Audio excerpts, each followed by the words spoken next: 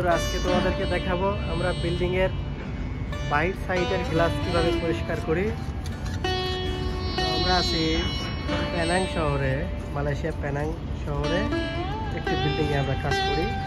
তো এখন বিল্ডিং এর বাইর সাইডে গ্লাস পরিষ্কার করা হচ্ছে। তো এক চাষা আছে, সে কি করতেছে দেখি একটু। হাতে একটা পিছাও নিয়ে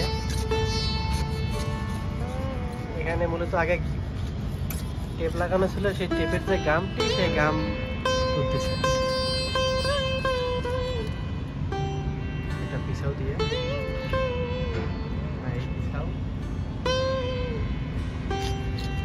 গ্লাসে কোনো দাগ পড়ে না।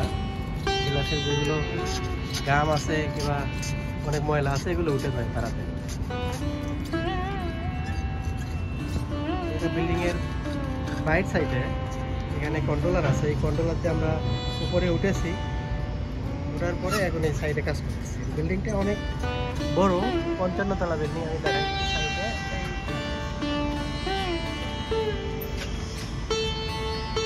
দেখা যাচ্ছে না হয়তো।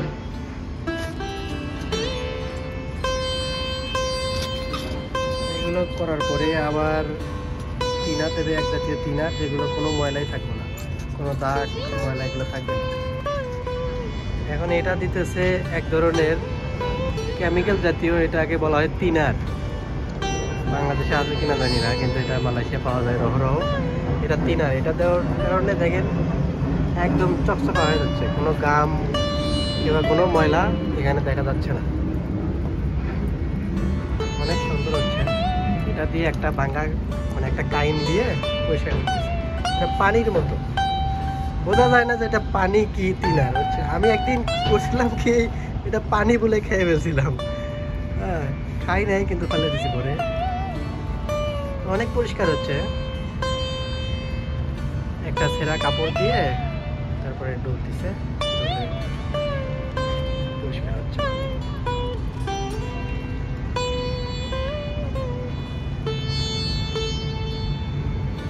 অনেকেই মনে করে যে বড় বড় বিল্ডিং এর বাইর সাইডে কীভাবে কাজ করে, কীভাবে গ্লাসগুলো পরিষ্কার করে, অনেক তো আগে তো অনেক ময়লা থাকে, সেগুলো কীভাবে পরিষ্কার করে? সেটাই হচ্ছে যে বিল্ডিং অনেক বড় বিল্ডিং সেই বিল্ডিং এর সাইডে যে কন্ট্রোলার আছে কন্ট্রোলার নামে একটা মেশিন বাংলাদেশে যেরকম বলে একটা লাইট সাইডে ওঠার জন্য এই মেশিন দিয়ে আমরা উপরে উঠি আর কি। রাইট সাইডে কাজ করাবো এটা মালয়েশিয়া বলে কন্ট্রোলার এটার উপরে দিয়ে আমরা উপরে উঠেছি, উঠে এখানে একটু দাঁড়ানোর পজিশন আছে, এখানে আমরা দাঁড়ায় কাজ করতেছি। তো চাচা কাজ করতেছে, আমি ভিডিও করতেছি, আমি একটু কাজ করব পরে। এবার তো চাচা আবার সাবানের পানি দিচ্ছে। এর ভেতরে সাবান আরও অনেক কেমিক্যাল মিক্স করা আছে, যেটার জন্য মনে করেন তাড়াতাড়ি কোনো ময়লাই থাকবে না। এবার একবারে ফিনিশিং টান এটা। ফিনিশিং হবে। এরপরে আর কোনো মোছামাছি করা লাগবে না। এটা দিয়ে এই পানিটা দিয়ে ওই একটা সেরা তেনা দিয়ে মুছতেছে যাতে আর কোনো ময়লাই থাকে না। বাহির থেকেও দেখা যাবে না, ভেতরে যারা থাকবে তারাও দেখতে পারবে না বাইরে কোনো ময়লা আছে কিনা। এটা সেই পানি। এটা সাবান। সাবান আছে এর ভেতরে, সাবান, পানি তারপরে কিছু কেমিক্যালও থাকতে পারে। তো আমরা জানি না।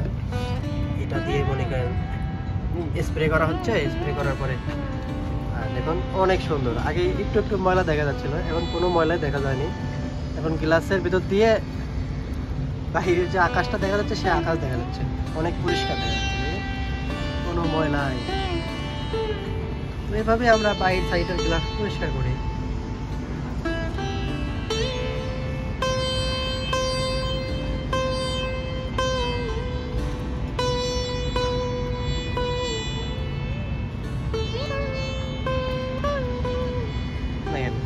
ময়লাই একদম চকচকা দেখা যাচ্ছে।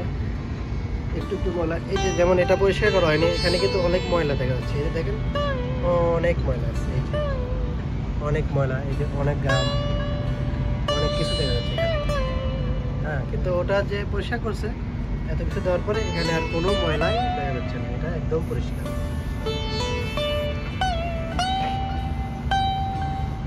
একদম ফিনিশিং টান দিয়ে দিছে।